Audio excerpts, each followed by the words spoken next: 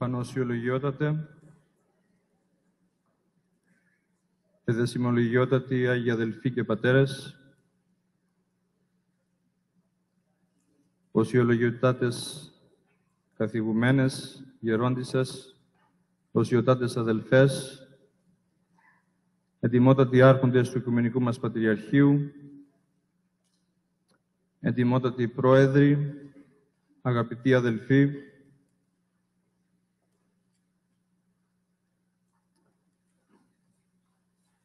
συμμεριζόμενοι την πνευματική περίοδο της Μεγάλης Τεσσαρακοστής που διανύουμε εδώ και δύο εβδομάδες, σκεφτήκαμε να βρούμε έναν τρόπο να ξεδιψάσουμε και να χορτάσουμε την πεινασμένη και διψασμένη ψυχή μας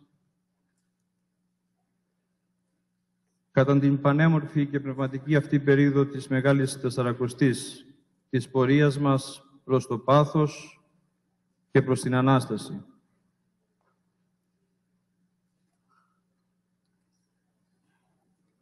Η απάντηση στην αγωνία μας και στον τρόπο μας πώς να το κάνουμε αυτό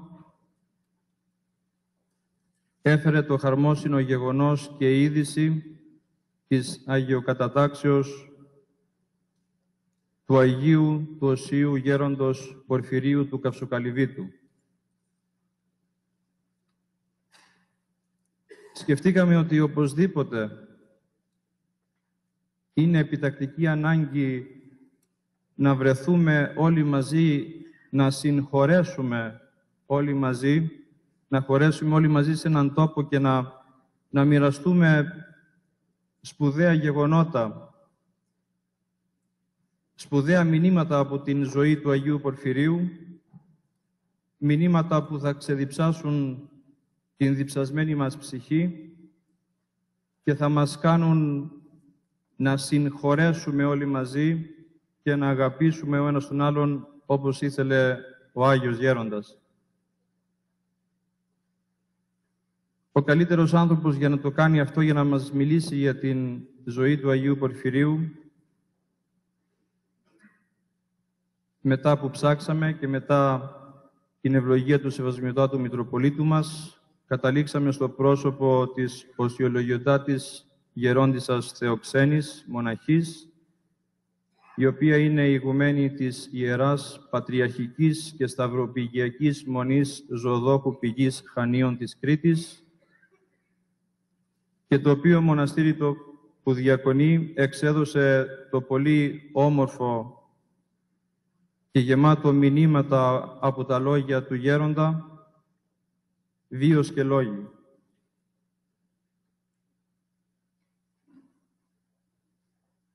Επιθυμώ και πάλι και πολλάκις να καλωσορίσω για άλλη μια φορά ενώπιον όλων σας τη Γερόντισσα, να την ευχαριστήσω που δέχτηκε να κάνει αυτό το μεγάλο και κουραστικό ταξίδι μέσα στην Μεγάλη Τεσσαρακοστή, αφήνοντας πίσω της τις 50 αδελφές, μόνες τους στο μοναστήρι, και εκείνη να ταξιδέψει για να μοιραστεί μαζί μας την αγωνία μας για την πνευματική μας πορεία και την πνευματική μας κατάσταση. Στο πρόσωπό της θέλω να ευχαριστήσω τον Σεβασμιότατο Μητροπολίτη μας που ευλόγησε την έλευσή της, να ευχαριστήσουμε τον Σεβασμιότατο Αρχιεπίσκοπο Κρήτης, που είναι ο πνευματικός της Μονής, ο οποίος έδωσε την ευλογία στην Γερόντισσα να έλθει, και βεβαίως τον Παναγιώτατο Οικουμενικό Πατριάρχη, που έδωσε την ευλογία του για να έλθει η Γερόντισσα στο Τωρόντ του Καναδά. Η παρουσία όλων σας εδώ σημαίνει, αδελφοί μου, ότι διψούμε. Η παρουσία όλων σας εδώ σημαίνει ότι η ψυχή μας πεινάει και έχουμε ανάγκη από πνευματικό λόγο. Γι' αυτό και βρισκόμαστε όλοι μας εδώ. Γι' αυτό και πήραμε αυτή την πρωτοβουλία να κάνουμε αυτό το μεγάλο πνευματικό γεγονός, χωρίς να αποσκοπούμε σε τίποτε άλλο. Δεν θέλουμε από αυτή την, από αυτή την εκδήλωση κανένα κέρδος, τίποτα απολύτως.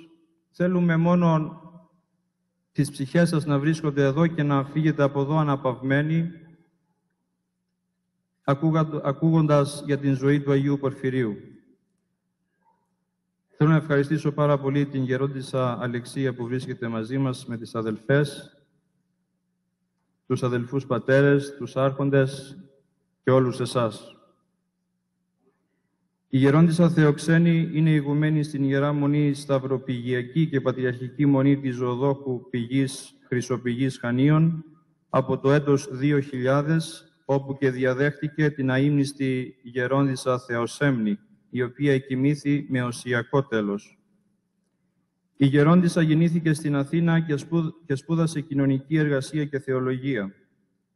Η γερόντισσα Θεοξένη ήταν ένα από τα πρώτα τρία μέλη της Ιεράς Μονής Χρυσοπηγής, τα οποία ανέλαβαν το ερυπωμένο ιστορικό μοναστήρι το 1976 με την ευλογία του Αρχιεπισκόπου Κρήτης, τότε Μητροπολίτου Κιδωνίας και Αποκορώνου, γέροντος Ειρηναίου, ο οποίος είναι και ο πνευματικός της Μονής. Η γερόντισσα είχε μακράν πνευματική επικοινωνία με τον Άγιο Πορφύριο, ο οποίος καθοδηγούσε πνευματικά για πολλά χρόνια την αδελφότητα της Χρυσοπηγής. Με την εντολή του Αγίου, η γερόντισσα Θεοξένη εργάστηκε μαζί με τις αδελφές την τελευταία εικοσαετία για την δημιουργία ενός μοναστικού κέντρου, που συμπεριλαμβάνει την ανάπλαση των παλαιών ασκητηρίων των σπηλαίων, η λατρευτική ζωή της Μονής αποτελεί πόλο έλξης για πολλούς ανθρώπους από όλο τον κόσμο. Γερόντισσα Θεοξένη has been the abbess of the Holy Stavropegic and Patriarchal Monastery of the life-giving spring Chrysopigi, Chania in Crete, since the year 2000. Gerondisa was born in Athens and she studied social work and theology. Gerondisa Theoxeni was one of the first three members of the Holy Monastery of Chrysopigi who undertook the, rest the restoration and revival of the deserted historical monastery in 1976 with the blessing of the Archbishop of Crete, Geronda Irineo, who is also the spiritual father of the monastery. Gerondisa had an extensive and spiritual communication with San Porphyrios, who spiritually guided the sisterhood of the monastery for many years. Under the command of the saint, Gerondisa and the sisters worked for the last 20 years towards the creation of a monastic center, which includes the revival of the ancient hermitage of, of the caves, the life of worship of the monastery at attracts many people from all over the world. Γερόντισα, παρακαλούμε έχετε τον λόγο και θα σας ακούσουμε με μεγάλη αγωνία. Σεβαστοί πατέρες, σεβαστή γερόντισα και σεβαστές αδελφές,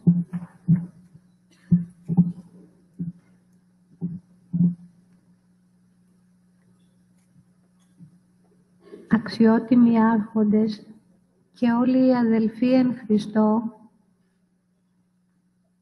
ε, βλέποντάς σας έτσι απόψε, σκέφτομαι ότι είναι κάτι πολύ σημαντικό που γίνεται, όχι βεβαίως αυτά που θα πω εγώ,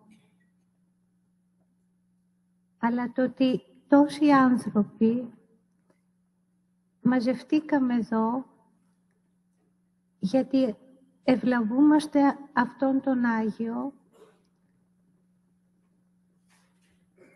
και συμπίπτει απόψε να συγκεντρωθούμε για να εκφράσουμε το σεβασμό, την αγάπη μας στον Άγιο, στη, τη δεύτερη Κυριακή, το δεύτερο Σάββατο της Μεγάλης Σαρακοστής,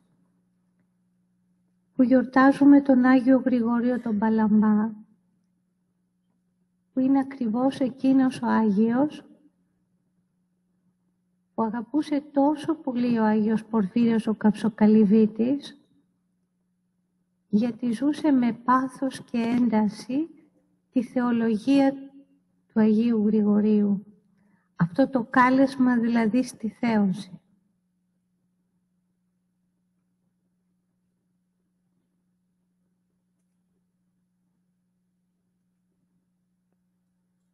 Θέλω να ευχαριστήσω πάρα πολύ τον Σεβασμιότατο που μας κάλεσε να, να έρθουμε από τα Χανιά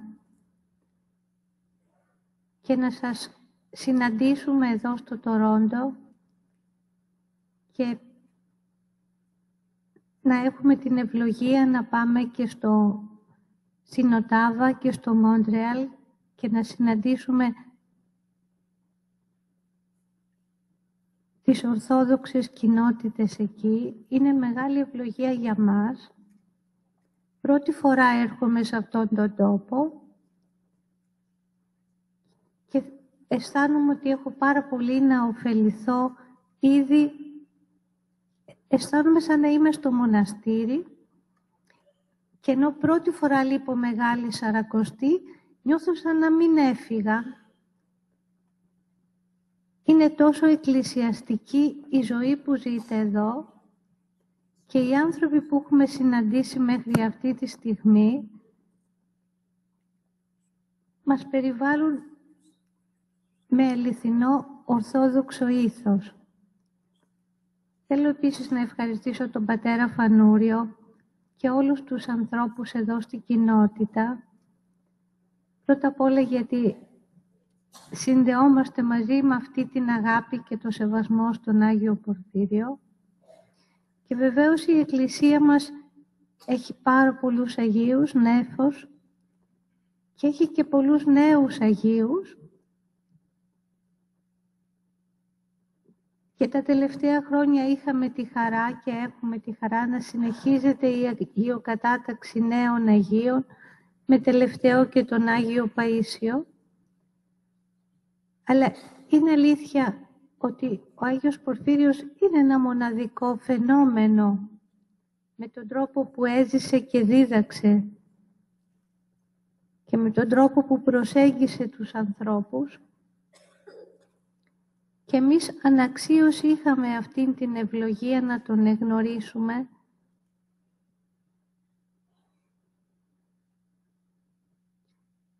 Και να δεχτούμε την, την αγάπη του, την πατρική. Ξέρετε, ο Άγιος Πορφύριος αγαπούσε πολύ την Κρήτη και έβλεπε τους τόπους, τους ασκητικούς που είχε και κάποτε μάλιστα ήθελε και να έρθει να ζήσει στην Κρήτη. Μετά όμως ασθένησε και δεν μπόρεσε.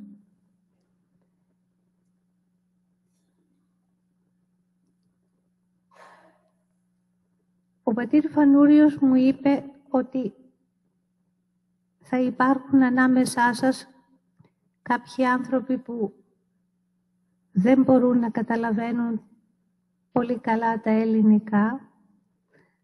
Δεν έχω μεγάλη άνεση να μιλάω στα αγγλικά. Έχω μια, υπάρχει μια, μερικές σημειώσεις, τις οποίες θα προσπαθήσω να, να διαβάσω και μετά να, να πούμε ό,τι άλλο θα θέλατε ή να The presence of sanctified figures among us up until the present day is an indisputable fact which gives our lives hope and the possibility of having a foretaste even in this life of the joy of eternity. One such sanctified figure is Saint Porphyrios of Kapsokalivia. Saint Porphyrios was born in the year 1906 in a village on the island of Evia. His parents were poor and the family was large. The father had gone to work in America.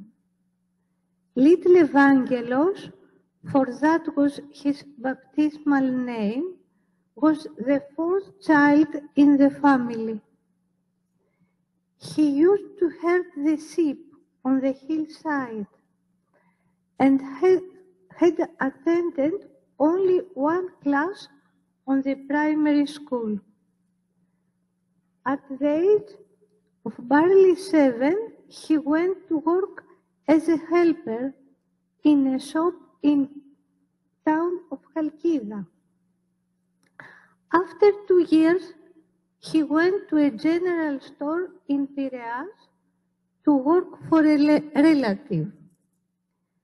This little boy, who could read only syllable by syllable, found a booklet containing the life of St. John the Hut Dweller, and through the grace of God, he understood the meaning of the call to a life in Christ. He would later say, I developed a deep desire to become a hermit. At the age of 12, he left for the Holy Mountain and went to a skit of Kapsokalivia. He regarded his move to the Garden of the Virgin, as the Holy Mountain is known, as a great miracle of God's providence. From early childhood, St. Porphyrios came to love Christ with a, strong and exclusive love, and he, throughout his life, he experienced most profoundly what he always confessed, namely that Christ is all in all. Christ is fullness of life. For the logic of conventional ways of thinking, the departure of a boy for a monastery seems incomprehensible. Complete devotion to Christ and to the Church surpasses the logic and the measures of the world. But this fact, this calling, through the working of the grace of God, gave to the Church a contemporary saint who inspired, comforted, and healed.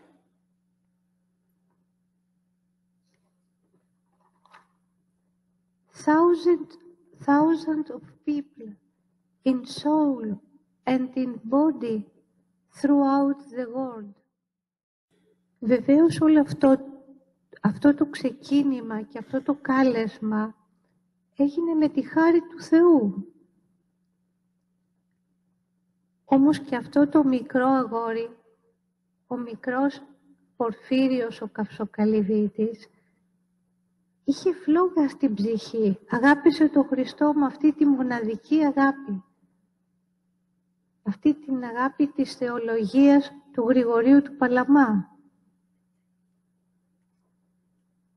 God's providence later brought St. Porphyrios, while still a young man, to serve human suffering in the polyclinic hospital at the center of the city of Athens.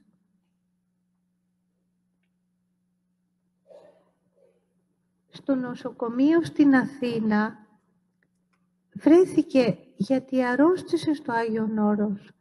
Δεν έφυγε με τη δική του, δεν αναχώρησε με τη δική του τη θέληση, αλλά επειδή έγινε πολύ άρρωστος, οι γέροντές του φοβήθηκαν ότι θα πεθάνει και τον έστειλαν προκειμένου να γίνει κάτι για την υγεία του.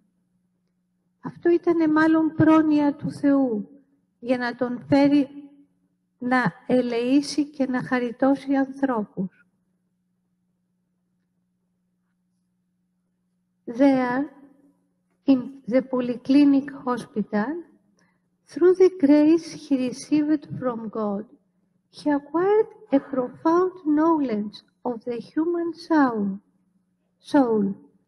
He approached and loved all people without exception, without any distinction between the righteous and the sinful.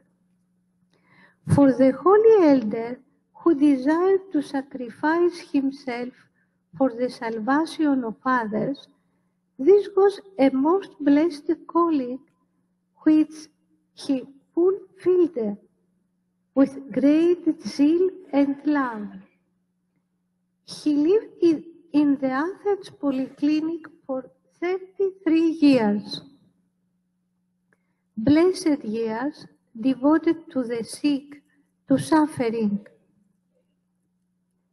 It became known that he was a good spiritual father, and many people came to him, many broken and crushed souls came there to pour out heartfelt tears.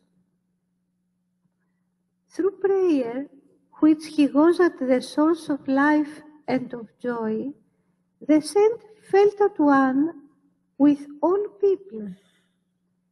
Prayer, he said, is to approach all of God's creation with love, to move in love, and to do everything with love.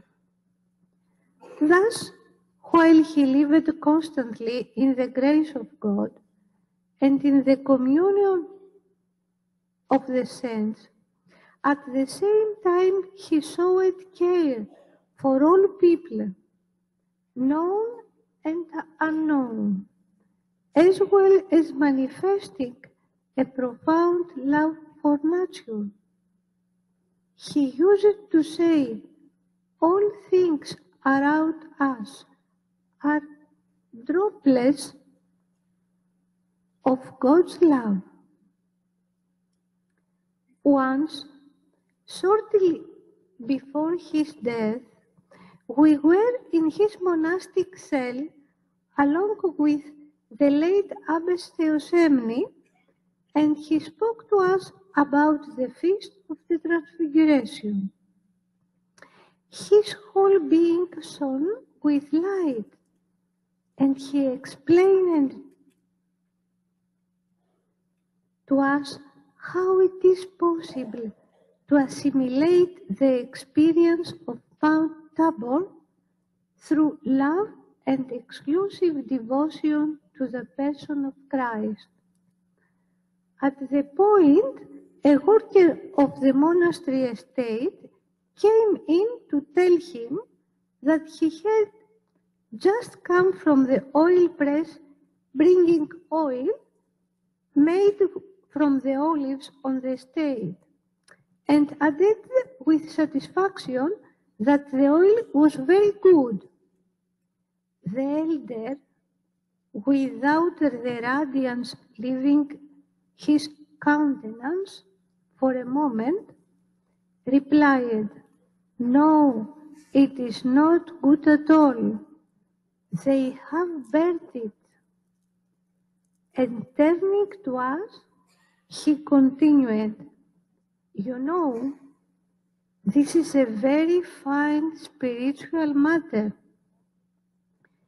He then began to explain to us with the gift he had of seeing at a distance and with his ability to give scientific explanations about what exactly occurs when the grinding of the olives take place at a high temperature, how toxins are produced which are harmful to the health of those who consume the oil and also about the deleterious effect of products in which chemical agents have been used. This discussion encouraged us very much in our own initial attempts to employ organic farming methods, which at that time were still very much disputed. Saint Porphyrios often affirmed that when our soul is sanctified, it radiated, radiates good, and that no one can become a saint by fighting against evil. He taught, you do not become holy by hunting down evil. Don't occupy yourselves with ex- expelling evil. He himself experienced in an existential way the meaning of non-violence. He insisted that we should defeat evil with good and affirmed through his grace-filled actions that when Christ comes, we gain everything. Είδατε αδελφοί μου, πόσοι άνθρωποι σήμερα, ακόμη και μέσα στην Εκκλησία, νομίζουμε ότι με την ένταση, το θυμό, την επιθετικότητα, μπορεί να, να νικήσουμε το κακό. Θυμώνουμε πολύ με όποιον κάνει λάθος. Καταγγέλουμε ανθρώπους, φάλματα, που πολλές φορές μπορεί να μην είναι πραγματικά, να είναι στο μυαλό μας, στη φαντασία μας, στη δική μας αντίληψη. Και εδώ ο Άγιος μιλάει με έναν τόσο διαφορετικό τρόπο. Λέει ότι το, το κακό νικέται με το καλό. Η βία νικέται με την αγάπη. Μην ασχολείστε, λέει, να κυνηγάτε το κακό και την αμαρτία και τα πάθη. Αγαπήστε τον Χριστό. Τι ήθελε να πει με αυτό; Ήθελε να μας πει ότι αγαπώντας τον Χριστό έρχεται η χάρη του Θεού στην καρδιά του ανθρώπου. Αποκτά την ειρήνη και βλέπει αλλιώς τον κόσμο αλλά και εκπέμπει άλλο πνεύμα και άλλο μήνυμα και κοντά, κοντά σε έναν τέτοιον άνθρωπο που αγωνίζεται να γίνεται Άγιος, που αγωνίζεται να ζει σαν Άγιος. Κοντά λοιπόν σε ένα τέτοιον άνθρωπο μπορεί να σώζονται και άλλοι άνθρωποι και να ειρηνεύουν και να φεύγει το κακό. Αυτό δίδασκε ο Άγιος Πορφύριος.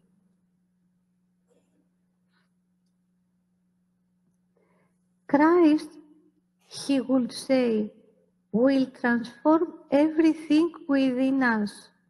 He will bring peace, joy, humility, love, prayer, resurrection. The grace of God will renew us. Without Christ, it is impossible to free ourselves from the passions if we turn to Him with logic, with desire, with devotion, with burning love, then Christ will give us everything. Ο Άγιος μιλούσε για αφοσίωση, για φλογερή αγάπη. Αυτό δεν το δίδασκε μόνο για τους μοναχούς. Δεν έλεγε ότι, ότι είναι κλίση και έργο των μοναχών μόνο η φλογερή αγάπη για τον Χριστό, η αφοσίωση. Έλεγε ότι όλοι οι άνθρωποι, όλοι οι χριστιανοί Ορθόδοξοι, είμαστε καλεσμένοι σε αυτήν τη σχέση με τον Χριστό.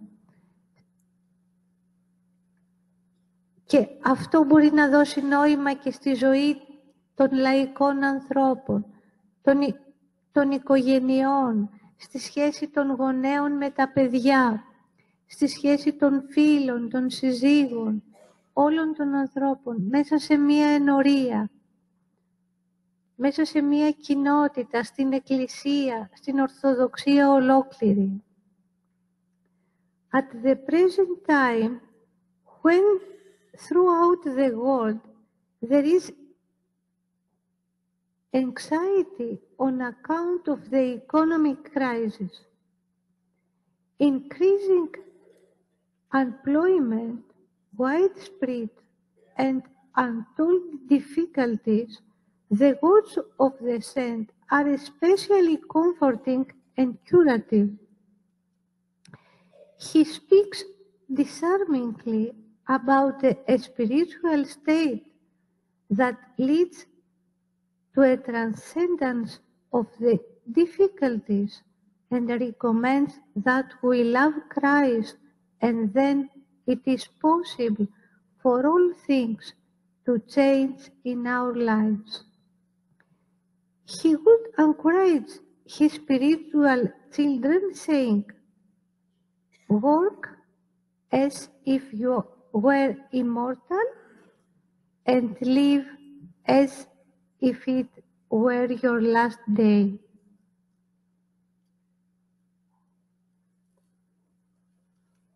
Live in Christ and you will, you will be happy in Christ. Christ has given us immortality. We must live in Christ. We must enter the church. And to enter the church, the old man in us must die. And from there on, there is nothing, neither death nor anything other than eternal life. Καλούσε όλους τους ανθρώπους ο Άγιος να μπουν στην Εκκλησία.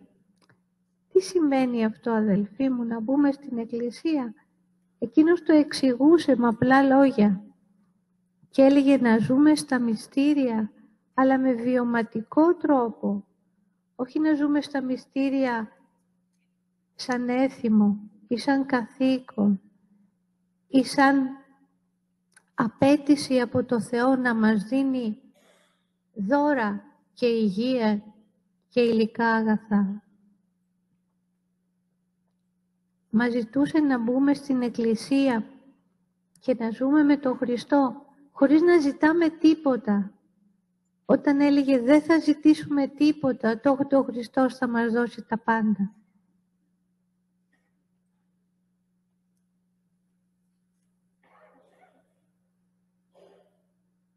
It is a fact that in the contemporary world all these truths are overlooked, namely the truth of an authentic way of life that confronts illness with serenity of soul, that transcends death, that regards euthanasia as folly and delusion and as a denial of God's will.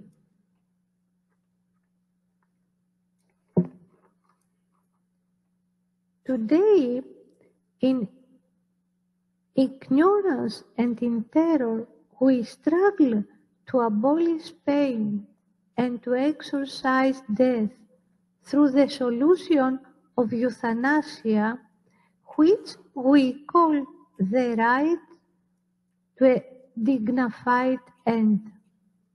But if we adopt this logic, it is as if we are denying the meaning of the life and martyric death of the cloud of saints and martyrs of the church, who most certainly did not have a dignified end according to the logic of the world. Θυμάμαι κάποτε που, σχολεί, που σχολίαζε στο κελί του και μας έλεγε τότε γινόταν πάρα πολύ λόγος για την ευθανασία και μας έλεγε τι είναι αυτά που λένε; Αυτά είναι δαιμονικά πράγματα. Και είπε κάποιος άνθρωπος που ήταν εκεί, «Γέροντα, σήμερα υπάρχει μια αντίληψη ότι ο άνθρωπος πρέπει να έχει ένα αξιοπρεπές τέλος. Και λέει, τι είναι αυτά που λένε, υπάρχει μεγαλύτερη αξιοπρέπεια από το μαρτύριο και την οδύνη. Αυτό που πρέπει στο χριστιανό, στον Ορθόδοξο, είναι να ζει με, με μαρτυρικό τρόπο. Δηλαδή γέροντα του είπανε, τι σημαίνει αυτό, να είμαστε συνέχεια σε ταλαιπωρία; Όχι βρε παιδί μου, αλλά να ζούμε όπως οι μάρτυρες και οι Άγιοι. Να δεχόμαστε, να ταπεινώνεται η ψυχή μας και να πολεμούμε τα πάθη με τη... και να τα υπερβαίνουμε με την αγάπη στο Χριστό. Να βάζουμε πάνω από τη ζωή μας την ίδια την αγάπη στο Χριστό.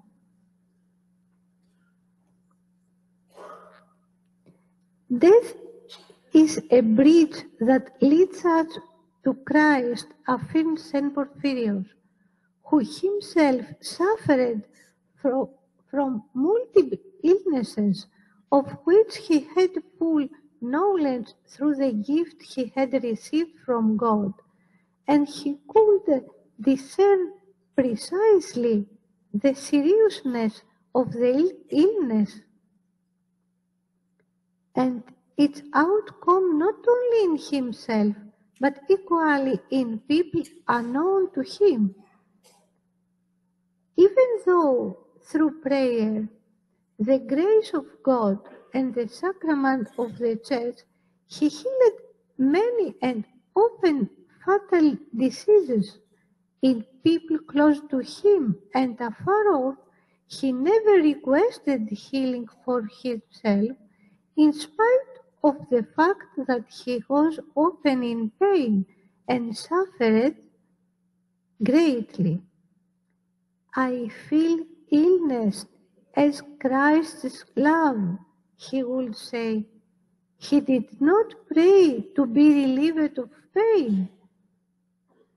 His longing was to experience the mercy of God. This precisely is always the secret of the saints, their lack of fear in the face of illness, pain, and death. The saints look forward to the future blessedness, and for this reason they can transform, their own pain into understanding of their fellows. They sense and understand the pain and anxiety of the stranger, the immigrant, and outcast, and equally of every disoriented young person who lacks meaning in their life, and they see in every human person a unique value. This why St. Porphyrios would urge that we unite ourselves with our fellows, with the joys and the sorrows of all, that we feel them as our own, that we pray for all, and we are paying for their salvation that we forget ourselves. Ο Άγιος αγαπούσε όλους τους ανθρώπους. Δεν ξεχώριζε κανέναν. Δεν μισούσε τους αιρετικούς. Δεν, δεν αντιπαθούσε αυτούς που έκαναν λάθη. Δεν περιφρονούσε όποιον έφερνε σε δοκιμασία την Εκκλησία. Προσευχόταν για όλους και είχε το μεγάλο χάρισμα να κατανοεί το γιατί ένας άνθρωπος έκανε λάθος. Έβλεπε τη ζωή ολόκληρη του καθενός από μας και με πόνο αναγνώριζε ότι πάρα πολλά σφάλματα τα κάνουμε γιατί δεν βοηθηθήκαμε από την παιδική ηλικία αργότερα μέσα στη ζωή μας. Και πάντοτε δίδασκε και έλεγε ότι για να, να μπορούν οι άνθρωποι να αγαπούν και να ζουν με ειρήνη πρέπει να βοηθάμε τα παιδιά από τη μικρή ηλικία να τα μεγαλώνουμε με αγάπη, με στοργή, χωρίς επιθετικότητα. Έτσι καθοδηγούσε τους γονείς να μην μαλώνουν, να μην είναι επιθετικοί με τα παιδιά. Αλλά να τους μιλούν για τους Αγίους, για την αγάπη του Θεού, της Παναγίας. Να τα φέρνουν στην Εκκλησία με ειρήνη και χαρά και όχι με, με πίεση και αυστηρότητα.